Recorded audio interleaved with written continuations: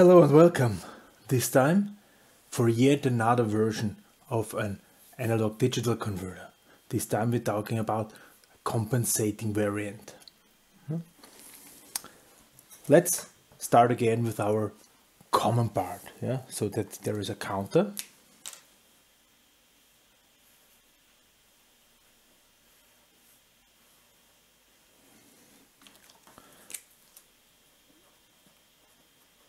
Counter, then there is the memory.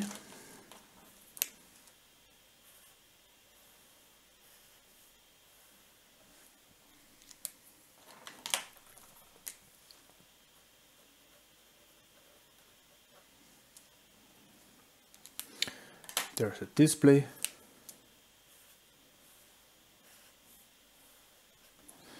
This is what we said is always the same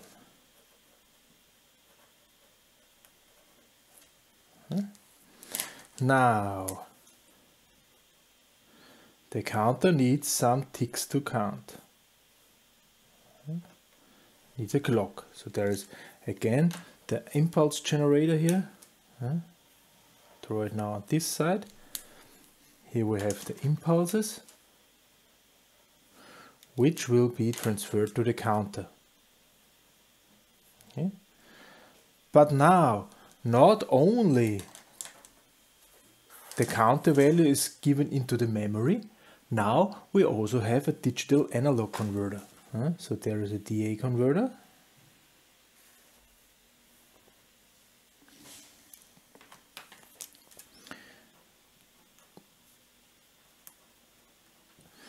And this counter value here is also transferred to the digital analog converter. Huh?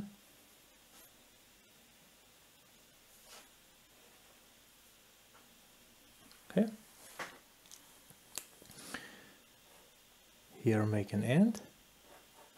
Uh, to block, to be able to also block the uh, signal. And what comes out here is a comparison voltage. So I will again use a comparator.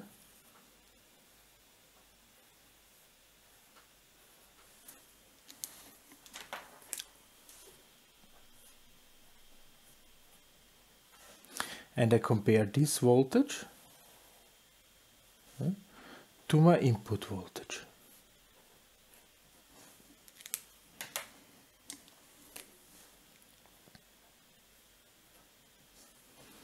Here we are. If this voltage is bigger than this, we have here a 1.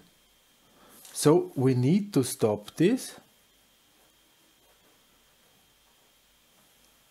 If you're not having a 1, yeah, then this AND shall do its work.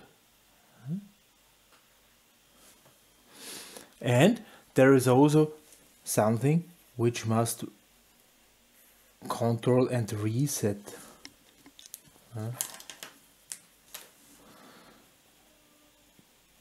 Control and reset logic which will reset the counter to zero. It also needs this signal from the comparator. Okay?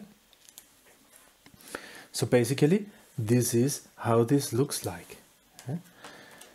So what does it do? As long here we have the comparator voltage. As long as the input voltage is bigger than the comparator voltage, I have here zero. So the counter will start to count.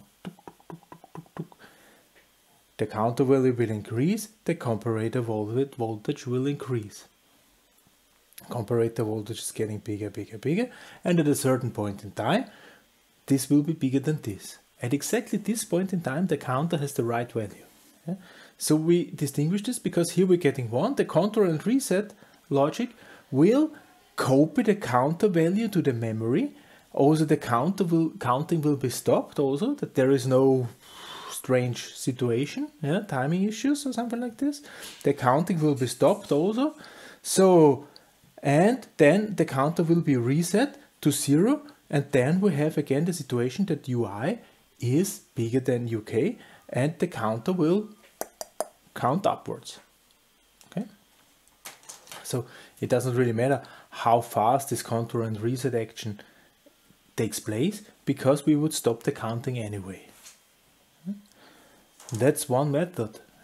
As soon as we reach the correct counter value, we already reset.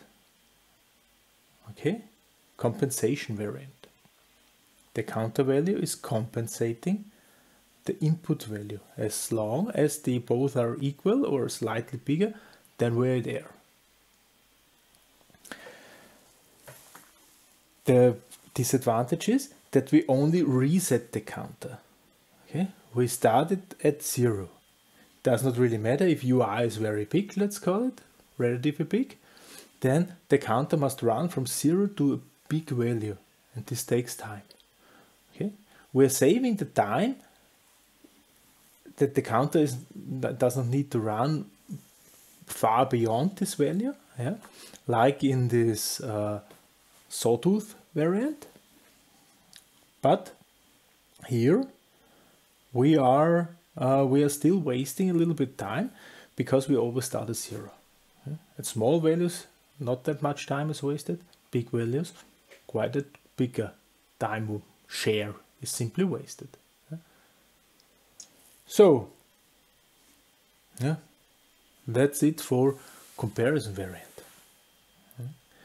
Next time, we will also try to overcome the last mentioned disadvantage of this thing. Yeah? We'll do an appro approximation. How this is working, we will see in next video. For this time, thank you very much for listening. Goodbye.